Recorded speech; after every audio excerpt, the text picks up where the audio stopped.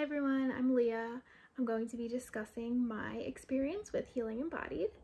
So before I started Healing Embodied, I was experiencing regular OCD with um, different subtypes for about five years. Six months before I started Healing Embodied, I got engaged, which was very exciting. And then four months after I got engaged, the relationship OCD symptoms had set in, which wasn't so exciting and fun. Um, I started seeing a regular OCD therapist doing ERP work, and that was absolutely amazing. One night I felt that my relationship OCD got the best of me and had almost a relationship OCD episode, I would say. And the next day I was like, oh my goodness, something else needs needs to help me. So that's when I did some research and I found Healing Embodied, which was awesome and very grateful for. Um, I needed I felt that I needed like more support than just with the regular OCD therapist and that's what I, I truly found with um, Healing Embodied.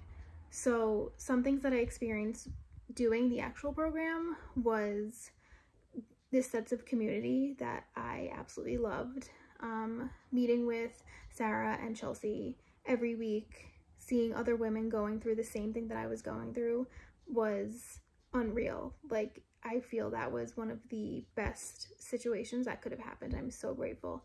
Um, you know, them answering any questions that you had, um, the other women in the group being so supportive with anything. You can cry in front of them, laugh in front of them. Like, you know, everyone is just there for you and it's it's so nice. You don't even you don't even know them and it's it's just so, such a, a supportive environment. Um, the other thing that really stuck out to me with this program was how it's set up it touches on everything and things that you wouldn't even know affect your relationship OCD, your past traumas, you know, uh, belief systems that that you might have had. All things are touched on and you realize that like oh this isn't just one thing. Like it's a culmination of so many different things. And sarah and chelsea really are able to get you know down to what is going on which is wonderful. Um the movements and the working with your body is amazing because I feel you can take that and really use that with any anxiety. It doesn't just have to be relationship OCD.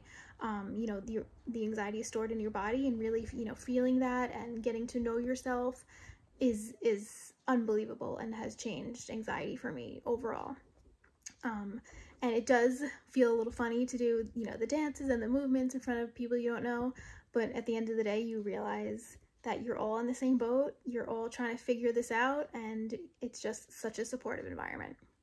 Um, so if someone was considering doing Healing Embodied, I would say 100% do it. I am so happy that I found it, like so, so, so grateful.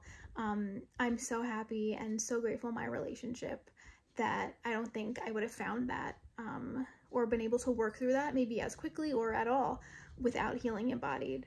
Um, I'm getting married in three months, so I'm so excited and, you know, I'm just so grateful for Healing Embodied to allow me to feel that excitement and allow me to work through a really crappy time in my life and just be there for me.